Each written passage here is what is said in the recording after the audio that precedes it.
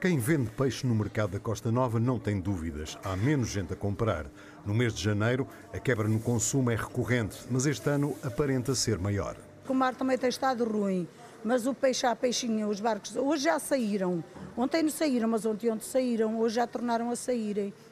Mas não é por isso, é as pessoas não têm dinheiro, não sei. Este mês é sempre assim fraco, mas este ano está pior. Os primeiros três meses do ano estão frequentemente associados a um aumento do preço do peixe. A explicação é simples: o mar de inverno condiciona a atividade do setor.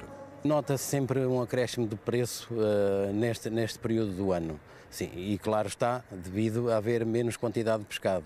As embarcações uh, pronto, saem muito menos vezes para o mar, o que faz com que o mercado apareça menos quantidade de, de, de pescado para consumo. Havendo pouco, eleva-se. Havendo fartura, baixa. Mas dentro dos parâmetros está dentro do normal.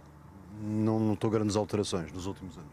Não, não. Por acaso a nossa atividade a nível de preços está dentro do, do que vem sendo normal nos últimos tempos. É a lei da oferta e da procura a funcionar.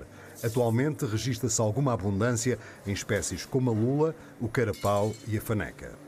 Os mais caros, como sabem, é, pronto, é o robalo do mar, que é sempre mais caro, não é? O pregado, uh, pronto, os peixes de mais qualidade. Depois os mais acessíveis, o carapau, a tainha, a caldeirada mista, são os peixes mais acessíveis, é os que as pessoas aderem mais, como é óbvio. As vendedoras de peixe acreditam que o fim do IVA zero em nada interferiu neste arrefecimento do consumo. O IVA de 6% é que em 100 euros era, era cêntimos é, ou 6 euros, não, era, não é nada, é um, carap, é um quilo de carapau. Por exemplo, não, não teve nada a ver aqui connosco. A nós não nos afetou em nada. Agora estão a comprar menos. É. Para pessoas que não podem, queixam-se. Elas mesmo aqui queixam-se que está muito mal e não têm dinheiro. Olha, não sei.